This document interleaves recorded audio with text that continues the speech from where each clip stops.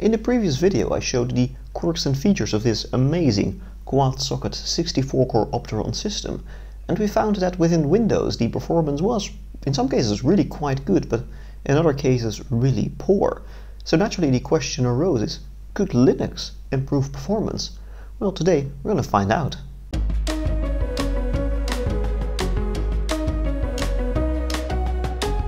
In case you missed the previous video on this system, here's a quick recap.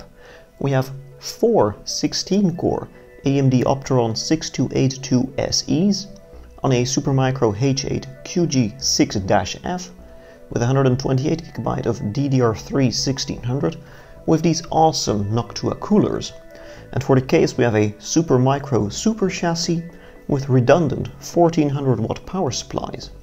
It's all pretty crazy, so it perhaps doesn't come as a surprise that Windows struggles with managing all of it. So we turned to the magic land of Linux, and there were two distros I really wanted to have a look at. First of all, the recently released Ubuntu 2204, Jammy Jellyfish, and then Clear Linux. The latter specifically because the AMD Threadripper chips also had some issues within Windows, and the great people from Phoronix found that of all the Linux distros, it was actually Clear Linux that was the most performant, and that's a bit ironic, considering Clear Linux is developed by Intel. Let's start with the worst performance on Windows, Geekbench 5, where we saw a scaling from single to multi-thread of just around 10x, with a score of 4939. So here we're running on Clear Linux, so see if performance improves.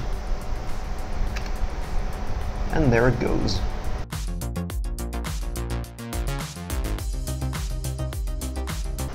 It has completed the test, so let's see what the results are. Let's see if we can do this gracefully. There we go. And, geez, 14,000 points. That's nearly three times as much as we got on Windows. It is really quite astounding actually. And with this incredible jump in performance, it's now 24% faster than the Alder Lake i5 12600K, and actually only 10% behind the 32-thread Zen 3 Ryzen 9 5950X. Also compared to Ubuntu, Clear Linux was clearly quicker. However, the results aren't all that rosy. For example, in Y-Cruncher, both Clear Linux and Ubuntu were slower than Windows. In the mostly single-threaded web tests, Octane and Speedometer, the Windows performance was also strong, but Clear Linux did have the edge in both cases. Things were much much better in the Blender Open benchmark, where under Clear Linux we saw a 56% performance uplift, and it was now able to outpace the Alder Lake i5 12600K by 30% in the second rendering tests. Next up for something I was very interested in, and that was DaVinci Resolve video rendering but Resolve turned out just to be a right pain. First of all, I couldn't get it to work under Clear Linux, and while I was able to get it to work under Ubuntu, I found out that because of some licensing issue, you can't just render regular video formats like MP4, you can only edit some obscure ProRes format. Like, why? In any case, with the video files all converted to ProRes, we are running it here in Ubuntu. Remember, in Windows we saw that a few cores were doing all the work, while most of them were just sitting idle, so see if that changes here. So let's start rendering. There we go. Open up System Monitor.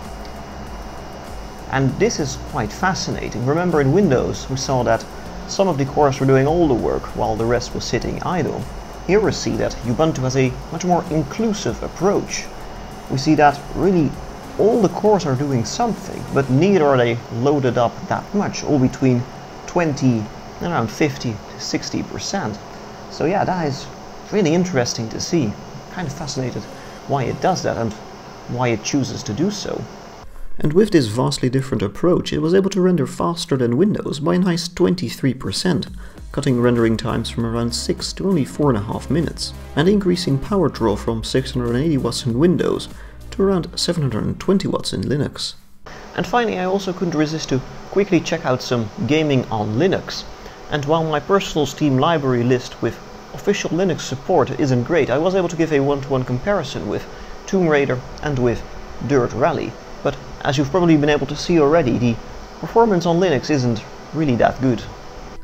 In Dirt Rally we went from averaging around 50 FPS in Windows down to only a quarter of that at 12.9 FPS average in Ubuntu. And in Tomb Raider it was a bit better, averaging 154 FPS in Windows, down to just over half of that at 83.5 FPS average in Ubuntu, so yeah, not especially great. So to conclude, can Linux save the quad socket 64-core Opteron?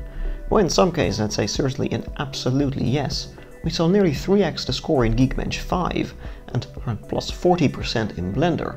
However, in some cases we saw around the same score or even a small reduction like in Y-Cruncher. However, in general, I'd say that Linux is certainly the best suited operating system for a system like this.